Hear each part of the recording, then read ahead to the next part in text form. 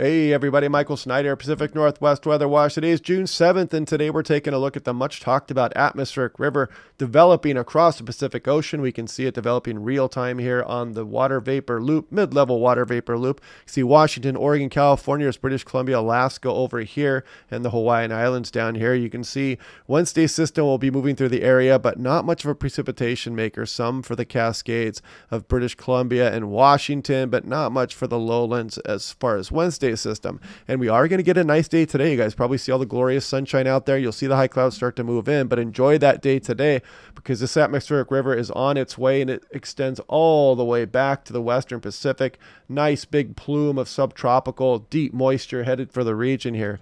And checking out the rest of the country briefly here, there's an enhanced risk for some severe thunderstorms across Tornado Alley here, tornado risk, wind and hail. So heads up if you're traveling out there.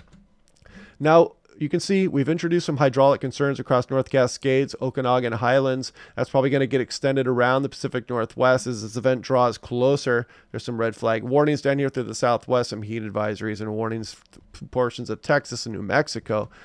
And check out the NAM 3 cam temperatures for today. Look at Seattle getting up into the low 70s. Willamette Valley probably low 70s as well. Maybe some 80s low 80s in eastern Washington, eastern Oregon, Idaho. Very nice day today. Enjoy this because it's not going to last, folks. Check out the HRRR, the high resolution rapid three refresh. You can see some mid 70s possible on the Willamette Valley according to the HRRR. Mid 70s possible for Seattle today. We'll see how warm we get before those high clouds start to move in there. And you can see the warmth through eastern Washington, Idaho, and Oregon, and some of the valleys of British Columbia there too. But checking out the precipitable water here on the GFS, you'll see Wednesday's system weaken as it gets towards the coastline there, and you can see this huge slug of subtropical moisture extend all the way past the date line, all the way into the western Pacific, headed our way, and there it goes impacting the coastline. And you'll notice this parent low is what steers this atmospheric river here. And if it's more progressive, it will push this atmospheric river south and out of the region quicker but it looks like it kind of takes a wobble north on these recent runs and allows that second shot of precipitation to get the region here before it finally, the trough finally settles southward and weakens that atmospheric river. And then on the extended, we're probably going to get a trough that's going to continue precipitation chances across much of the Pacific Northwest. So The next 10 days look pretty active and wet across the Pacific Northwest. So enjoy the day today.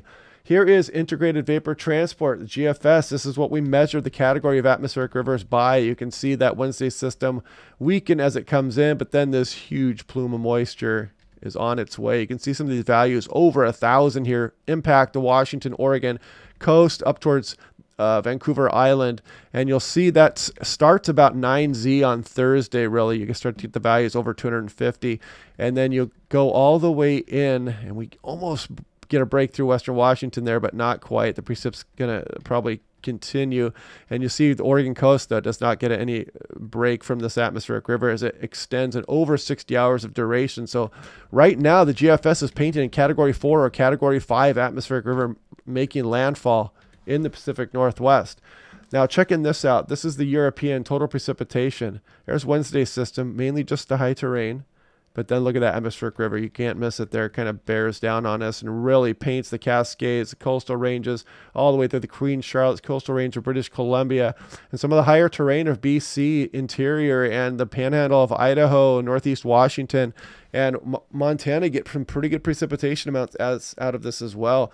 And this is the 10 day period for the European, and you can see how the precipitation kind of piles on there near the end as the troughing kind of hangs around and keeps precipitation chances around.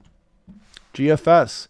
Let's go out 10 days with this too. Wednesday system, not much, but then you see the atmospheric river pour into the region here and really bring some good amounts all the way down to the southern Oregon Cascades and even all the way down through southeast Oregon there, Idaho, British Columbia interior still getting their fair share on the GFS here too. You can see over an inch and a half in Seattle.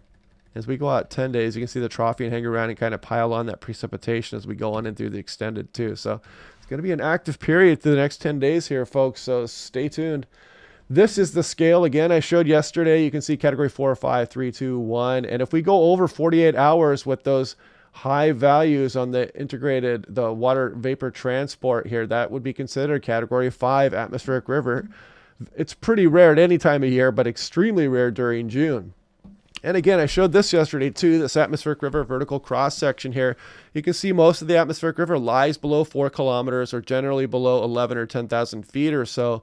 Just a very low level, warm, moist air mass being pumped into the region, which usually gets wrung out by our, by our dynamic terrain as these move on shore. And here's looking at 300 millibars. This is kind of the parent low that steers this atmospheric river into our region here. And you can see by Friday, just a nice fetch all the way across the Pacific. You'll see this also at 500 millibars too as we go into Friday morning, Thursday night, Friday morning, this big jet stream just racing across Pacific into the Pacific Northwest. And this is 850 millibars. This is right in the heart of the atmospheric river here. As we go through the day Thursday, you can see the ridging down here, spinning this clockwise into our area. Notice this clockwise rotation here, counterclockwise, cyclonic rotation here. It allows this atmospheric river to just really blast into the region and allows that fetch of subtropical moisture to just race into the Pacific Northwest kind of an interesting look at it there, almost like two gears turning, one over the Pacific Ocean here and one over the Gulf of Alaska, just churning this moisture into our region. Now taking a look at 500 millibar heights, European, this, actually, let's back up so we can go out a little bit further here yesterday afternoon's run. You'll see Wednesday system there. Then you can see the parent low just really going strong, strong ridging across the western Pacific, and that's what causes this tight gradient and allows the atmospheric river to really be quite significant as it moves into the area here. And then you'll notice the troughing kind of settle over the region, ending the atmospheric river, but keeping us cool and precipitation around. Possible thunderstorms on and through the extended. We'll have to watch that day at a time as we get closer to the event and see how these troughs evolve. This is the GFS. Good agreement with Wednesday's system, of course. Parent low sets up. Atmospheric river gets driven into the Pacific Northwest uh, Thursday into Friday morning, and we're going to get two shots of that probably, it looks like, in the recent model runs. And then the troughing moves across the region. Trough sets up off the west coast. Again, just a very active pattern coming up here for the next 10 days, folks. So checking out the Canadian here, too.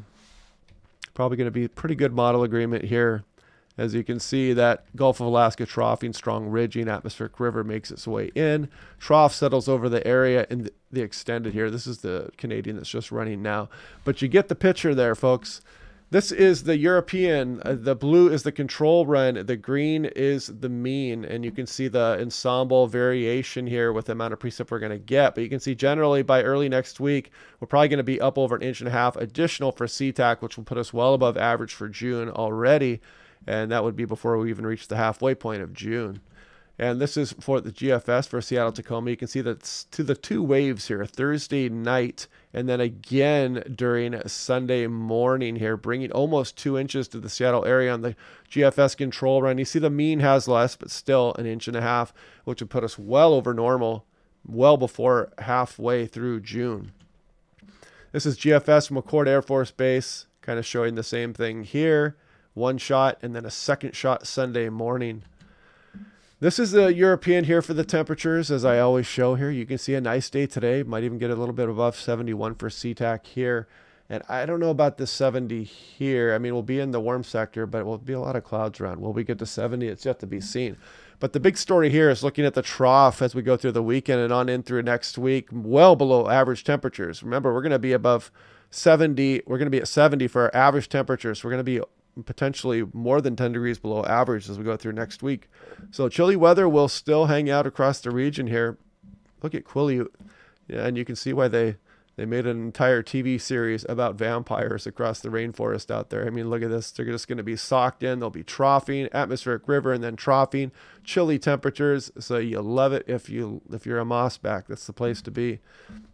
And now this is looking at percentage of average precipitation from April 1st to June 6th. As you know, we've been wet around the region for most parts, but you can see some areas of the eastern slopes of the Cascades of Oregon have remained well below average precipitation, as well as some select areas of eastern Washington.